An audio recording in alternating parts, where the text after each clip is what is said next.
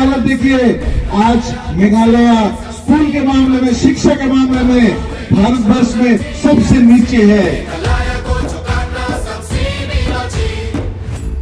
BJP और NPP का relation तो पहले से देख के आ रहा है। वो लोग का तो अंदर में तो है है कुछ रिलेशन वो लोग साजिश करके ही तो ये दोनों हम लोग का मेघालय राज्य को बहुत खराब बनाया।